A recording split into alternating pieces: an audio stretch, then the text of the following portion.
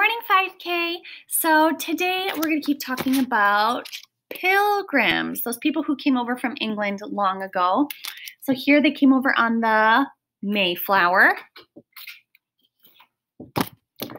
You see the Native Americans are watching them as they come. They didn't understand um, what those big ships were. They thought they looked like clouds because they only had like birch bark canoes, right?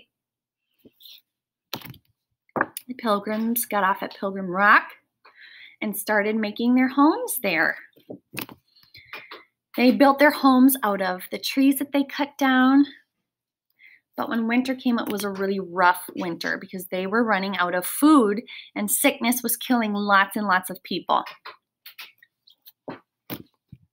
Thankfully, though, the Native Americans came and helped the pilgrims so they, they could survive and learned how to plant new food. Like yesterday, we heard about how they learned to plant corn um, between. Sorry, my dears. Um, somebody had to tell me something over my telephone, so I had to pause you for a second. Um, so the pilgrims had a really hard time through the winter. So the Native Americans came and they brought them food, and I was telling you about the fish, how they learned to put the dead fish in the ground when they planted the corn, because then the fish rotted and became food for the dirt. So when the corn grew, it grew big and strong and healthy because it had all those, they're called nutrients, the food in the dirt that was down in there. So here the Native Americans are coming to help the pilgrims. They gave them food.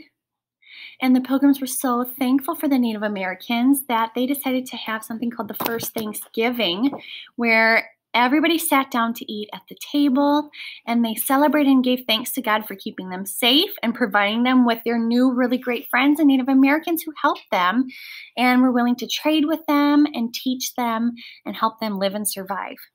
So I'm going to read to you today a book called The Littlest Pilgrim. Here she is.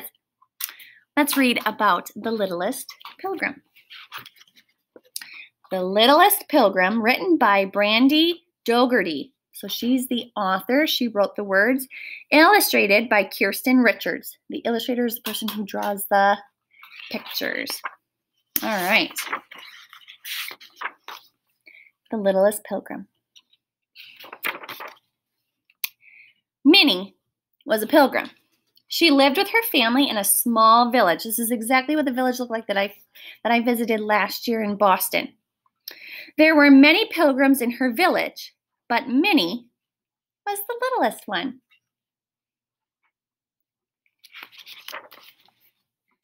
Even though she was small, Minnie tried to help with the village chores.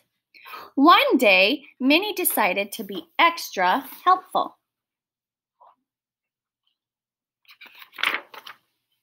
Minnie found her big brother by the house. He was stacking wood for the winter and she wanted to help. Look, brother, Minnie said, I am helping to make a woodpile. But Minnie's brother was too busy to notice her.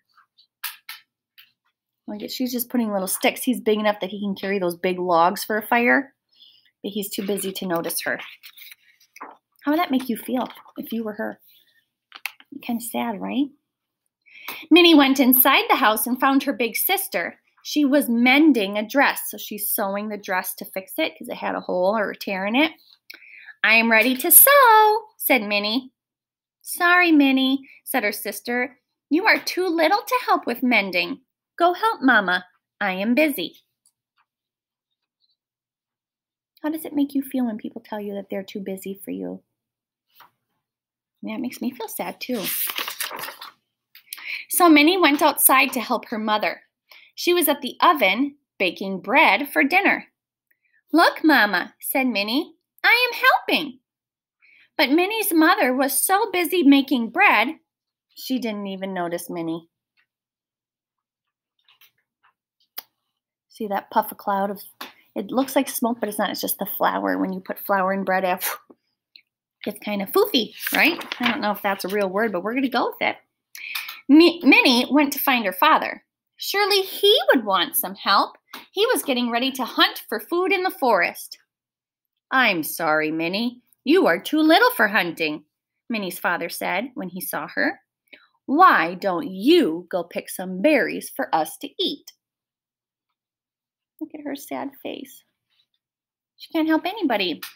Aw. As Minnie walked toward the berry bushes, she spotted her neighbor. He was fixing a door to his house. I can help, Minnie started to say. Sorry, Minnie, but this is a big job, and you are too little. She's handing him the nail. No, you can't help me with this, Minnie. Minnie wandered through the village. She was sad.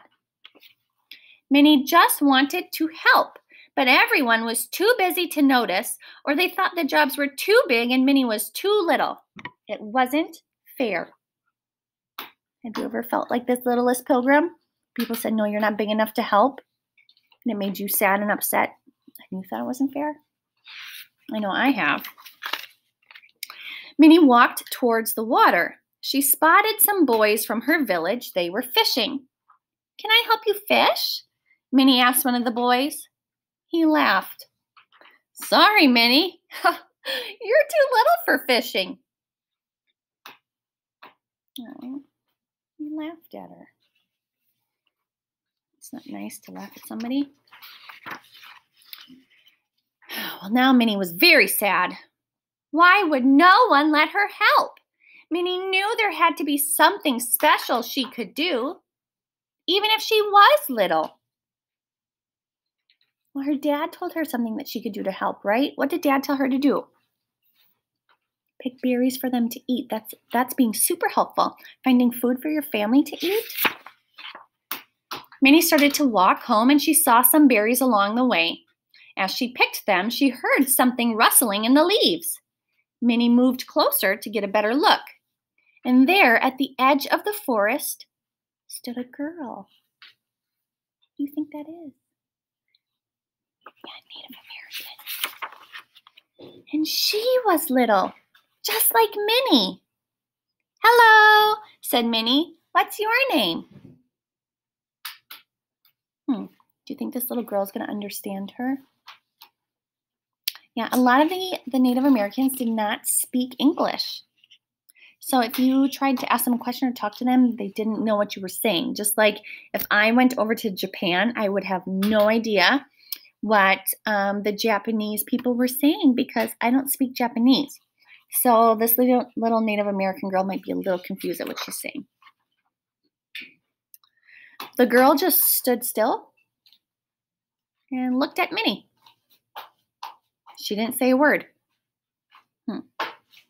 Minnie remembered the berry she had she held in her hand. Do you want one? she asked. She looks confused, right? She doesn't know what Minnie's saying. She said, What's your name? She didn't say anything. She doesn't know what she's saying. Now Minnie's going, Here, do you want some?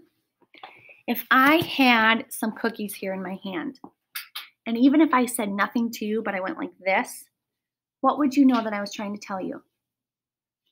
Yeah, you can take one. You can have some. So look, she's smiling because she understands. Oh, you're going to share with me. You're giving me some.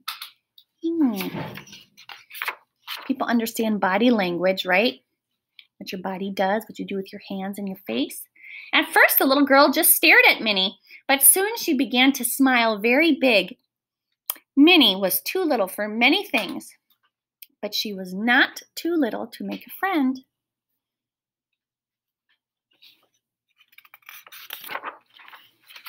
The end. Think of all the fun things that these two can teach each other. So cool. All right, my loves, let's fold our hands to say the last half of the Lord's Prayer. So give God your best because He gave you His best when He sent His Son to save all of us. So my turn first starts with forgive us our sins. Forgive us our sins. Forgive us our sins as we forgive those, as we forgive those who sin against us, who sin against us. Lead us not into temptation. Lead us not into temptation, but deliver us from evil. But deliver us from evil. For the kingdom, for the kingdom, the power, the power, and the glory are yours, and the glory are yours, now and forever, now and forever. Amen. Amen. Sleep tight. Have a great rest of your day. I love you.